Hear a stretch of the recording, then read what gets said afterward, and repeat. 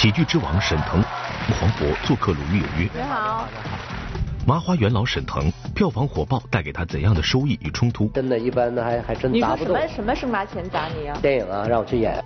妻子怎样的惊喜告白让他当众落泪？至少我没辜负你，你也没辜负我。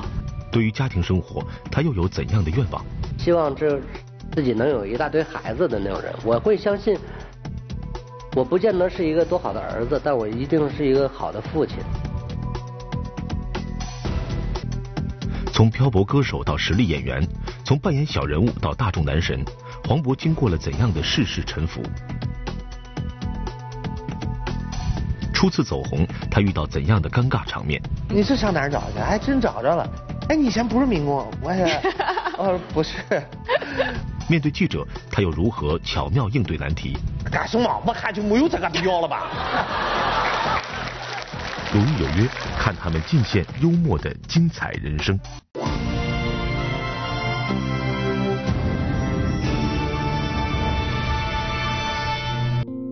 沈腾如今是中国最具影响力的喜剧演员之一，他的身影活跃在各大荧屏。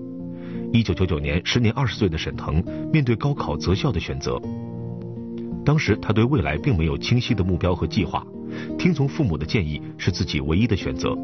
而对于日后以喜剧见长的沈腾来说，能考上军艺完全是机缘巧合。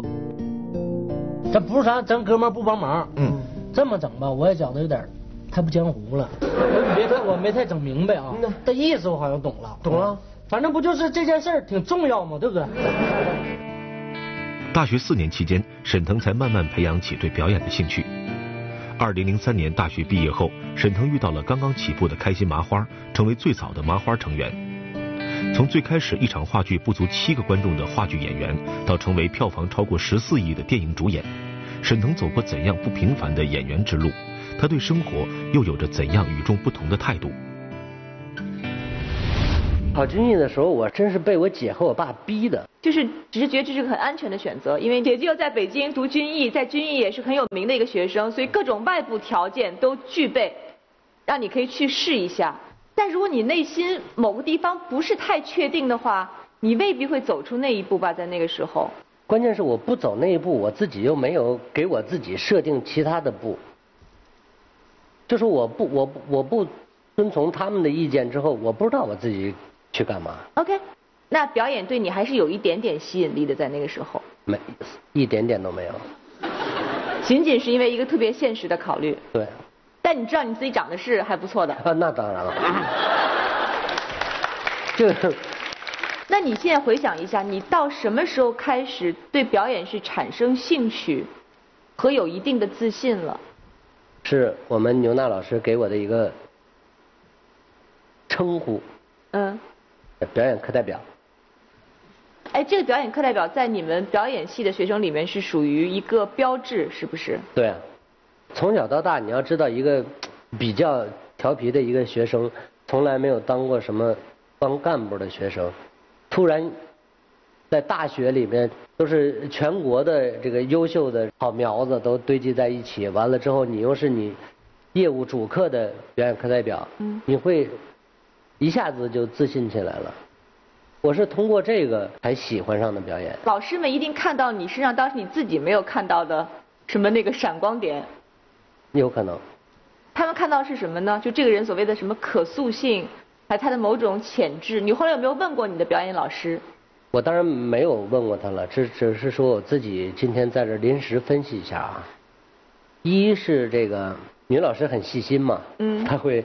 洞察到我身上的除了是不适合做表演以外的那些优点，嗯，比如说我比较助人为乐呀，啊，谁有点什么困难，弄个什么道具，我都会去帮忙，呃，还比较有这个组织能力，嗯，嗯，完了之后，内心非常阳光，内心非常阳光，嗯，具有一定的幽默感，嗯，嗯，具备一定的编导能力。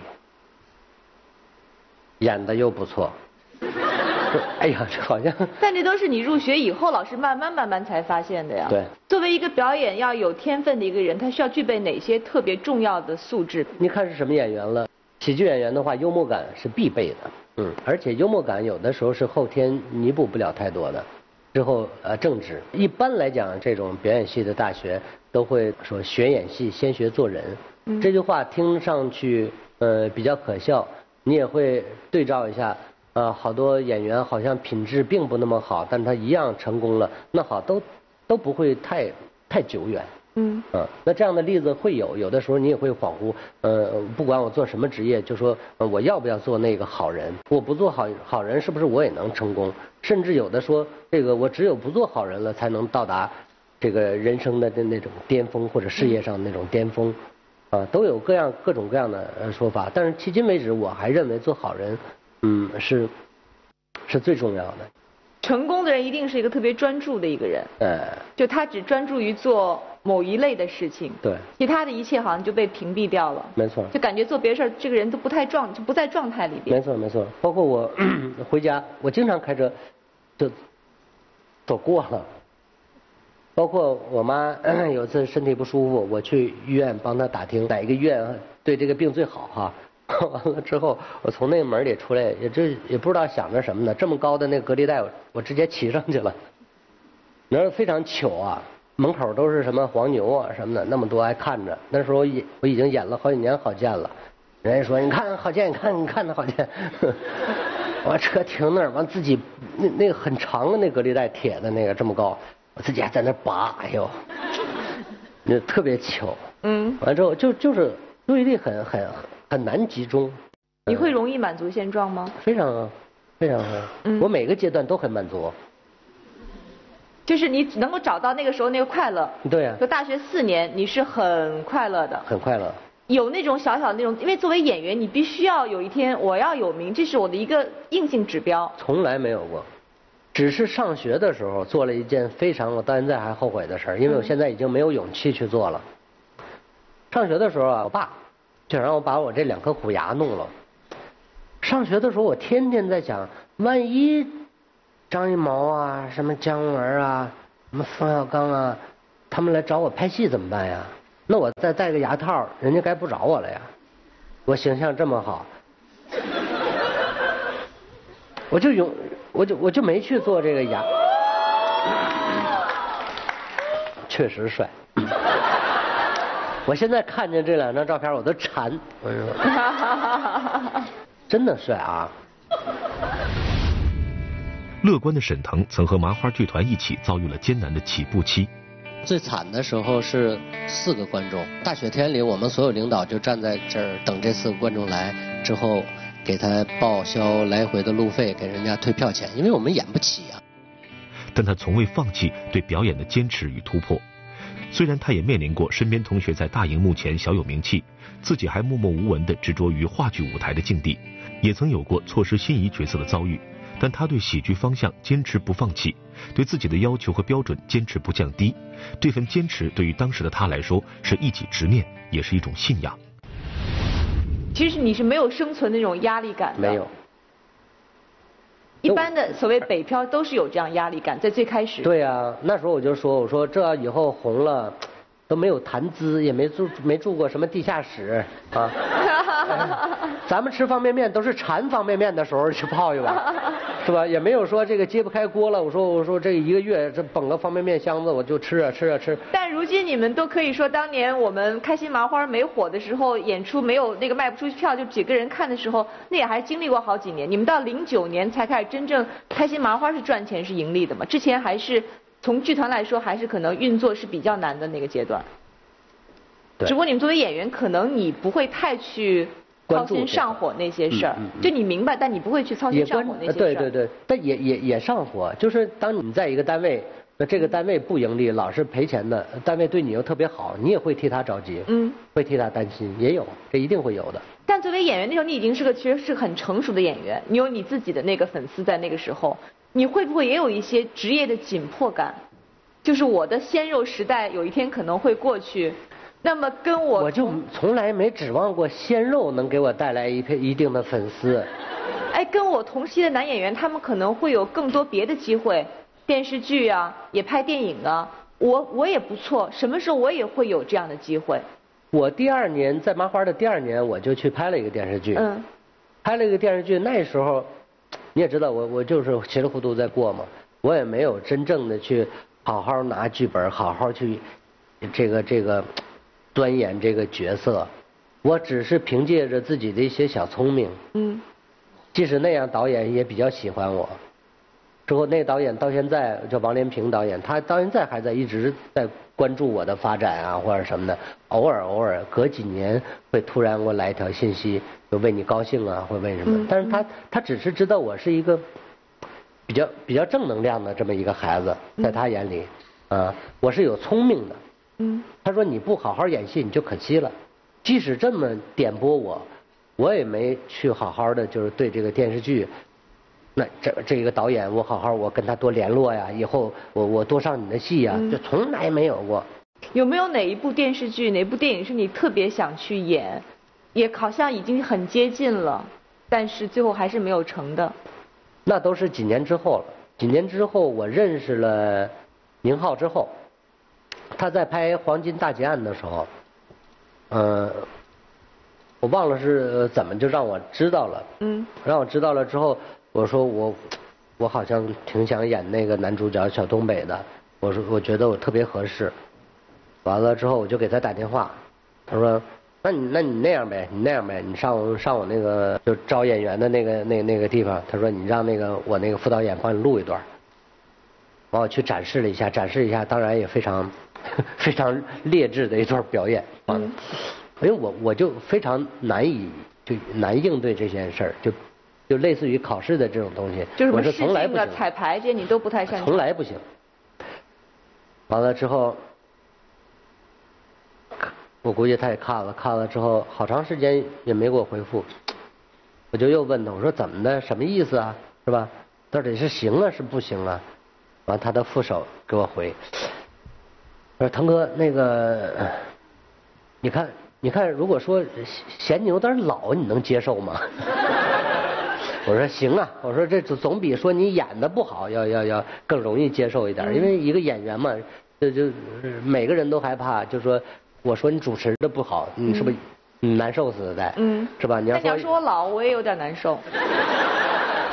我也难受。总而言之都难受。对，都难受。但是相比之下，当然要说说你专业不好，你肯定心里会对你是干错行了，多吓人啊！你长得老，这是事实啊。你只是不愿意去面对而已，对吧？我能明白那种感觉。为什么大家会生气？啊，当你一个人长得好看，他说你丑的时候，你一定不会生气，因为你就知道对方是在嫉妒你。如果你真丑的时候，大家都说你丑，你肯定生气，因为这是事实。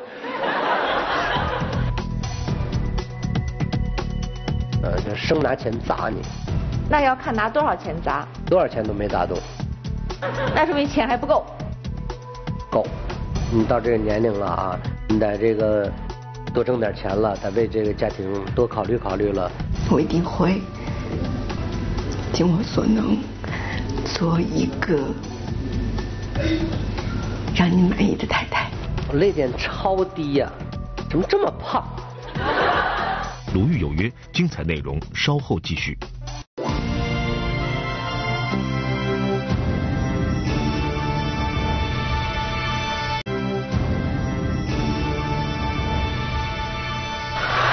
从话剧，对，就是你最后一排戴绿帽子的那个。到小品，小偷到我家都是含着眼泪走的，逢年过节还得给我扔两袋米呢。再到电影，我要感谢天，感谢地。沈腾在喜剧的坚持之路上，心中始终带着带给观众快乐的执念。无论是事业初期遭遇困境，还是被贴上春晚舞台上好见的标签沈腾都坚持通过自我完善来获得新的创作突破。虽然在这个全民奔跑的时代，很多人不知道何处安放心灵，但沈腾却始终坚持，从未放弃。首次出演电影竟收获一众好评，沈腾对于今后在事业上的坚持和突破也有了新的思考。都说现在好多这个之前对我来讲是天文数字了，呃，就生拿钱砸你。我这人还真的一般的还还真砸不动。你说什么什么生拿钱砸你啊？电影啊，让我去演啊。就其他的电影。对啊。那如果是我的话，如果是好电影的话，那当然要演。那当然，它不够我的这个标准。那要看拿多少钱砸。多少钱都没砸动。那说明钱还不够。够。最起码我我现在为止，我接了这部电影的话，我相信它也一定是卖钱的电影，它不会赔钱。啊，对我来讲，这笔数目非常可观。嗯。但是仍然它也砸不动。嗯，未来就会是可能更多的人，就不管你做什么，大家就会来各种挑刺儿，因为你已经在那个位置了。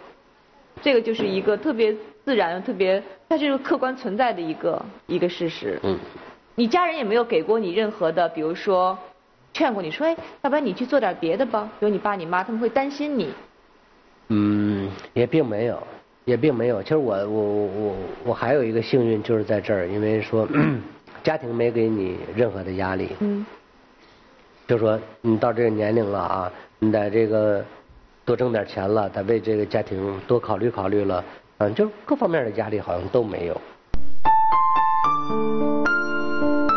其实我父母呃也没有怎么给我们俩压力，就是还是提倡这种顺其自然的这种结果。现在可能是考虑到我年龄有点大了吧，稍微有点着急了，没有做好任何准备那个时候。嗯你知道这是平时很大男人、很爷们儿的一个人，他突然单膝跪地向你求婚，就是，然后哎呦，就简简直就受不了了。对啊，而且眼睛里含的全都是眼泪，就然后那一刻看到他那样，然后单膝跪地，啊，就疯了。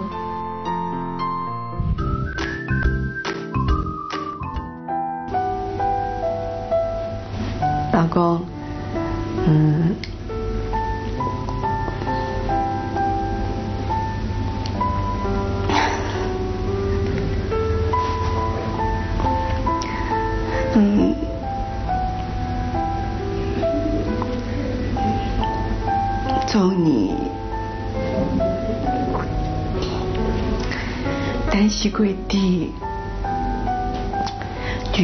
举着戒指向我求婚那一刻。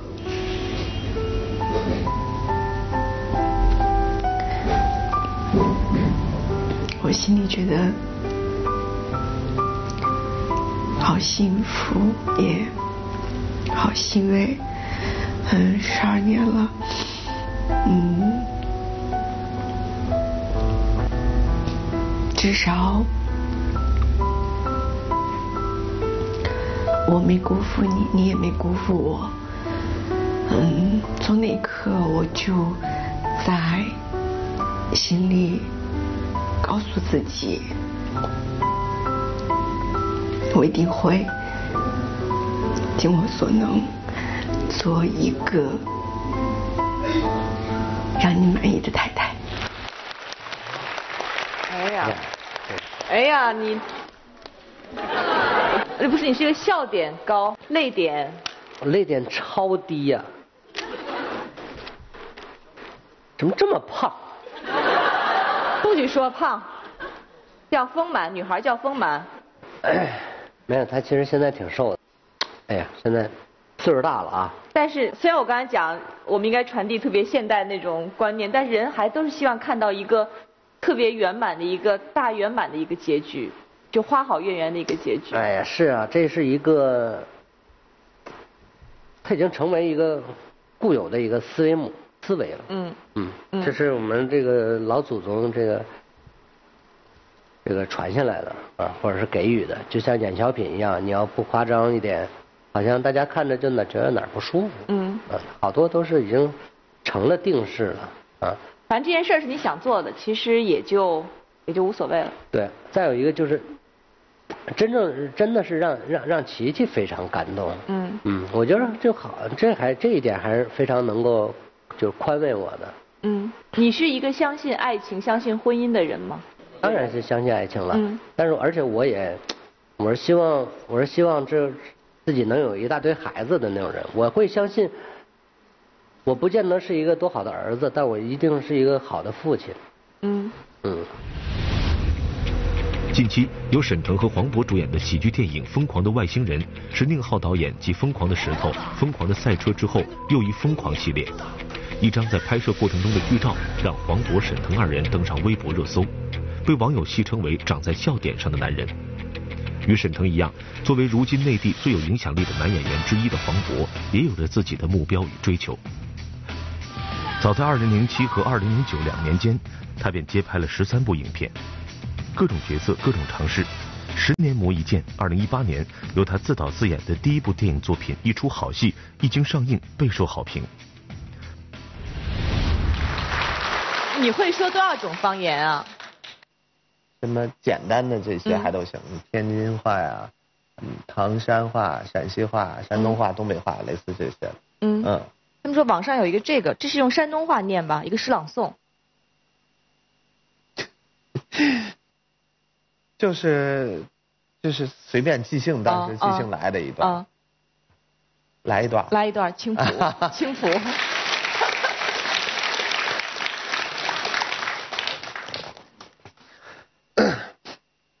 深情的。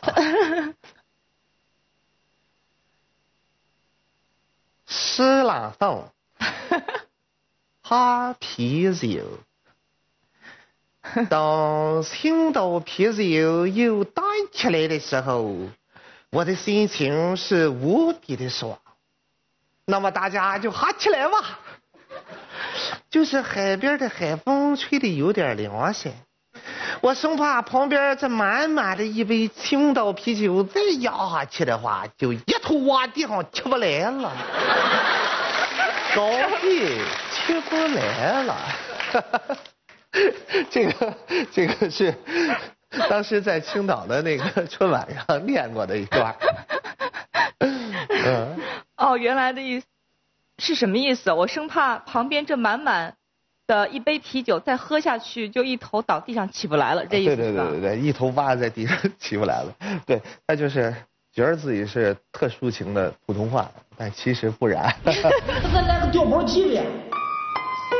给他换个来不就行了，对不对？啊？你妈，你说你不杀我，我跟你说，我真得报警，真的。走吧，上车吧，上车您了，走了。哎哎，这这什么这是？听到你的评估，我很受伤啊。这粮票一毛一斤，咱这一车酸菜色一百多斤小二百斤的，值多少粮票？一斤四毛，十斤四块，一百斤四十，二百斤八十，还行吧？还那句老话，缺一两他发一斤。哎，他要是缺二两呢？所以那黑皮说的是黑皮说是哪儿的话呀？是青岛话，就我说的可能用过的方言，青岛话用的多。嗯嗯。然后中间有一个女孩，就是在那个别人问她要要电话号码，那女孩说那话是什么话？说我看就没有这必要了啊！那个是让说的济南话，嗯，说的济南话，那个是真事儿，那个是一个朋友，嗯，一个朋友去济南出差，然后呢，中午说坐飞机要走了，没什么事儿，就楼下咖啡厅喝个咖啡吧，等等吧，下去了，下去但是突然看到窗边坐着一个美女，长发披肩，一个小围巾，小小披肩披着，然后在那看一本杂志，旁边就是花花。旁边就是窗户，窗户旁边还有个吊篮，我形容特仔细，就简直就是一幅画，侧影也漂亮，就太漂亮了。俩人商量，哎，谁能上去给留个电话号码，能请人去吃个饭什么的？这时间看够不够？一个一个哥们就上去了，他说：“小姐，那个没什么恶意啊，就是想问，我们是从外地来的，在这也没什么事儿，没什么恶意，想请您吃个饭，行不行？”呃，女孩抬头看了看，笑了笑，就是没说什么话，特尴尬就回来了。但是那时候更更完了，就是这么的销魂。嗯。第二个就实在不行，马上时间就到了，说不行，我得留一电话，怎么着看我本事上去。说小姐不行，我们真没什么别的意思，我就想交一朋友，以后我要再来的话，再来再来济南的话，就是哪怕给打个电话，咱们一块儿就是吃个饭，我就有幸能请您吃个饭，我觉得都是荣幸，说的特好。女孩听听不耐烦了，把书一合，干什么？我看就没有这个必要了吧。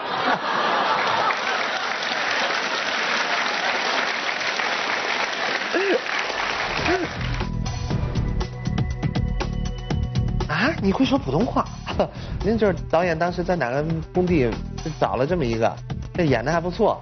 哎，你以前不是民工？我也，我 说，不是，拿了把吉他在后边就看着我一遍一遍。我的天，我的天呐，在这看。有人说你整容了是吗？整成这样，我得让那医院赔我多少钱？开始人是这样，然后说着说着就成这样了，再说说说就成这样。是我记忆中那团白云背后的蓝天。鲁豫有约，精彩内容稍后继续。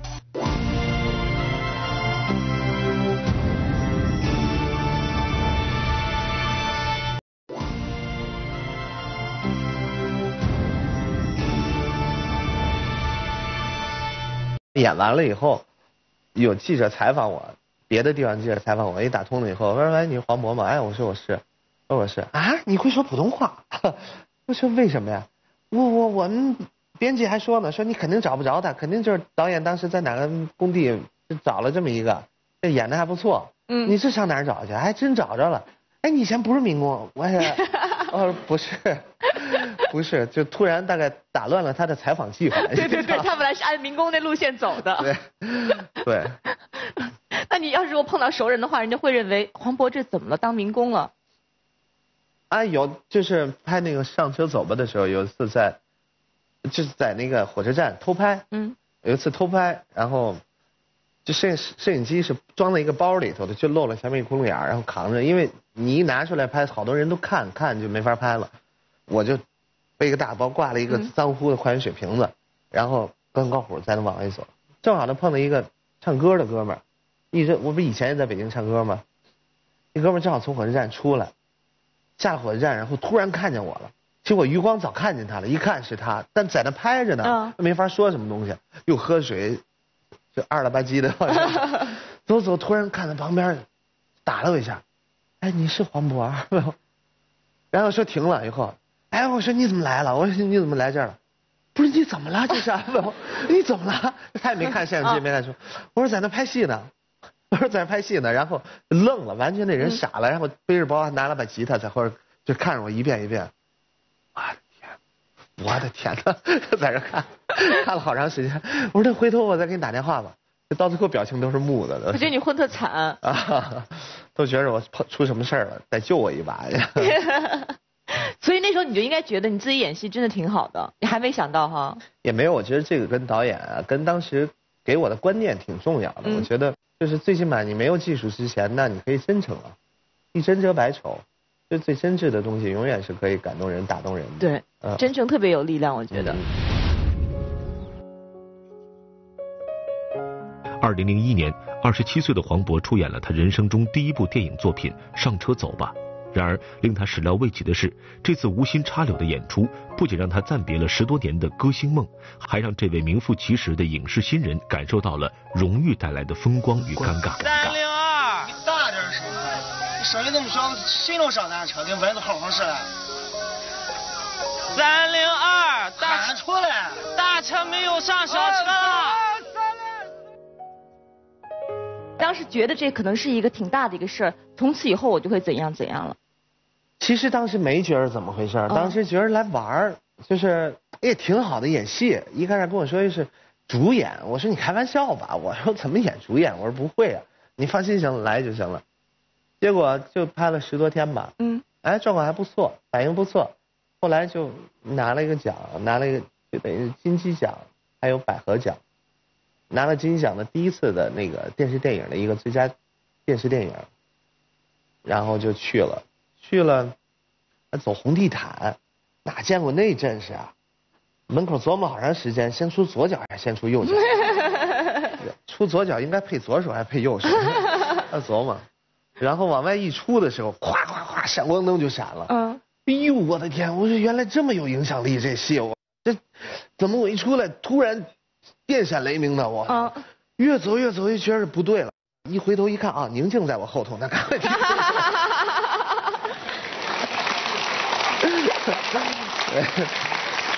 但是已经很满足了。那当然了，已经很满足了。坐在这儿一看，这周星驰，哎，看那边那是谁呀？巩俐，看，哎呀，关虎当时回头看导演，回头看，哎，我们黄渤，我们看你这坐坐这儿特怪。我说怎么了？我觉得你完全应该在观众席，在那上面坐着，坐这儿来了。但那一刻就觉得挺挺神奇的感觉哈。对，对，你就觉得。你觉得哎，这事儿也不错啊。嗯。第一，他也在工作的时候也能给你带来那种快感，你也挺挺满足的，而且哎，我还挺胜胜任这个工作。再一个呢，就是完了以后，哎，大家还都觉得不错，有别的老师有什么的过来表扬你两句，你会特别受用。但是别人可能是简单的鼓励，不错啊，孩子，哎，不错。这俩字儿深了，你知道吗？对，就是就是比你资历深的、比你有名气的人过来说一两，他可能就是一个礼貌，但对于被说的那个人内心那那种被肯定的感觉是特别特别难忘的。对对对对对对。真的。当时不过那个戏是中间有评委，还有别的老师单独跑过来找我说的，这孩子不错啊，这今年可惜第一年电视电影参加那个那个的时候，嗯，没允许演员参入演员的评选。就演员不参与，只有影片单独单独参加。所以要是的话，可以给你报个什么最佳男配什么的。哇！那听着啊，金鸡奖最佳男配角呀？不是不是啊。就说呀，就说呀。对，对，当年我就看着傅彪老师上去了。哎，这是不是有可能是我？哎。十年前的黄渤曾经无限渴望荣誉带来的鼓励与肯定，但是如今荣誉加深的他，真切地感受了荣誉加深带给自己的烦恼与压力。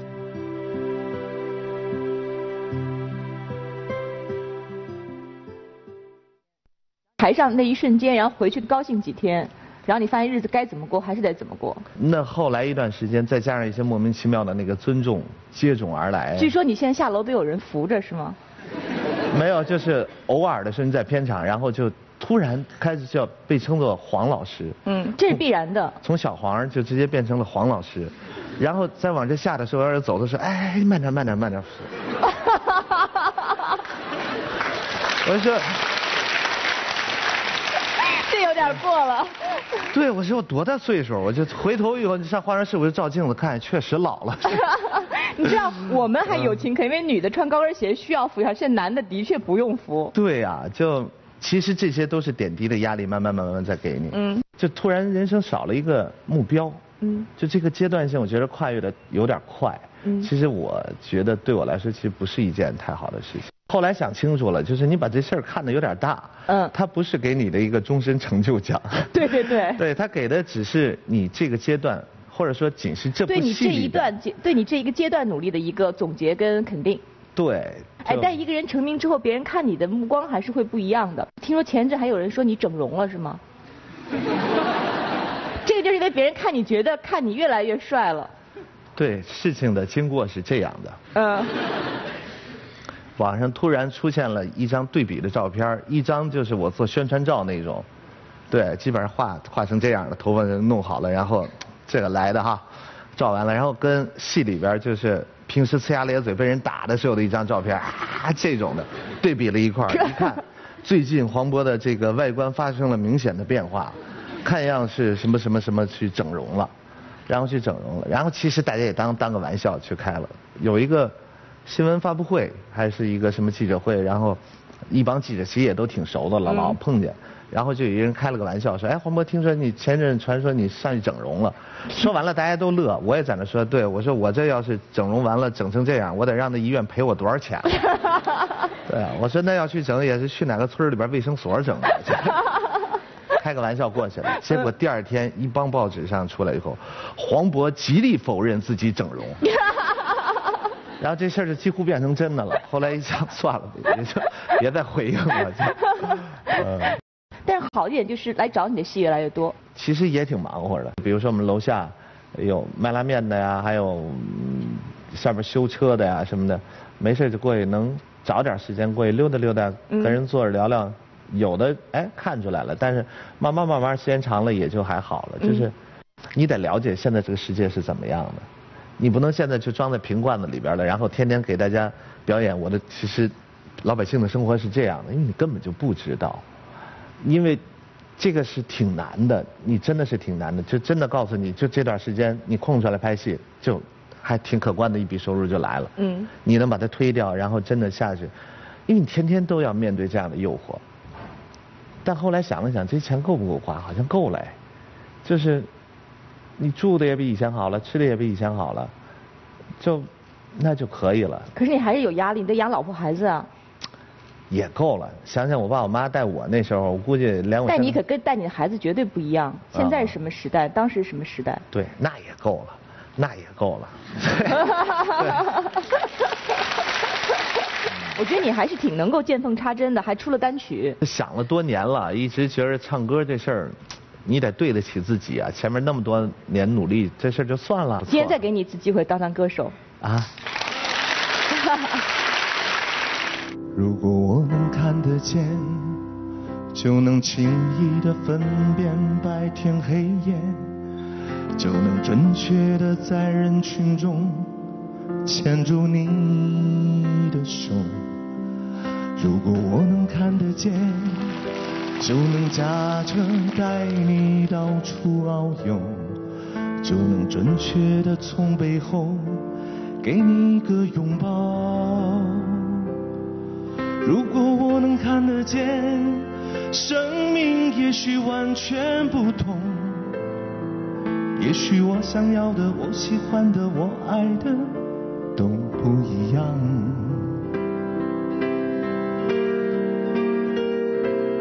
你说的黑不是黑，你说的白是什么白？人们说的天空蓝，是我记忆中那团白云背后的蓝天。我望向你的脸，却只能看见一片虚无。是不是上帝在我眼前遮住了脸，忘了掀开？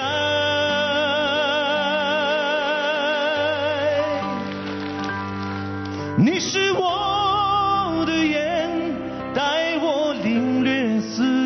变换；你是我的眼，带我穿越浩瀚的……忘词了，谢谢。这个有点临时。不错，不错，不错。